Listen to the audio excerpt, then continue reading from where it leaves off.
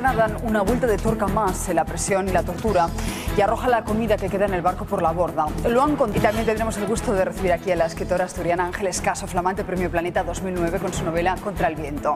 Empezamos en unos instantes, ah, cuestión de dos minutos, hasta pronto. Muy buenos días, señores. El presidente del Gobierno dice que la solución al secuestro del atunero puede estar encauzada fuera de la contienda política. Es evidente que Zapatero, una advertencia, de hecho nos la hace nuestra compañera Ana Gómez. Buenos días, Ana. En realidad es un protector estomacal, pero desgraciadamente muchas mujeres lo están tomando con otro objetivo, el de provocarse el aborto es muy peligroso, causa graves efectos secundarios y hay incluso un riesgo de desangrarse. Sin embargo, adquirirlo en Internet como ha comprobado Ana, es relativamente fácil.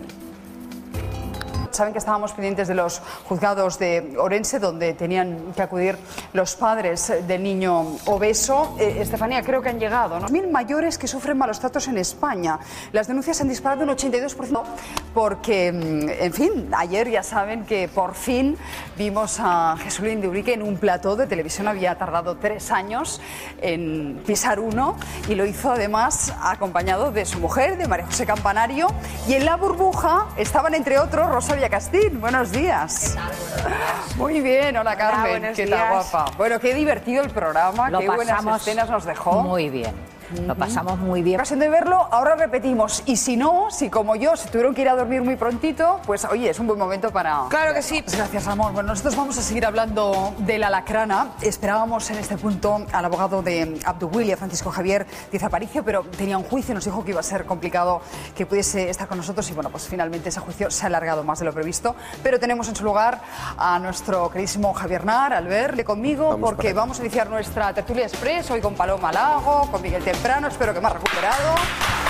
Con Lucía y con Cuca y con mucho curso del 63 porque hoy se emite el último capítulo. no nos lo queremos perder. Qué pena.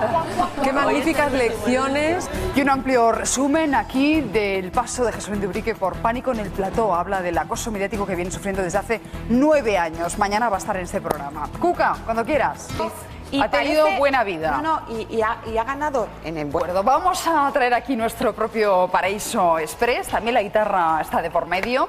Yo no sé qué les parece a ustedes mezclar estilos diferentes, eh, como pueden ser la música española y el claqué. Tapolé demuestra que ese mestizaje es un lenguaje universal capaz de crear muchas sensaciones. Tapolé actúa en San Andreu, en el Teatro San Andreu de Barcelona, hasta el próximo domingo. Disfruten con la fuerza de la guitarra española y con la precisión de sus bailarines. Adelante, con ellos nos despedimos.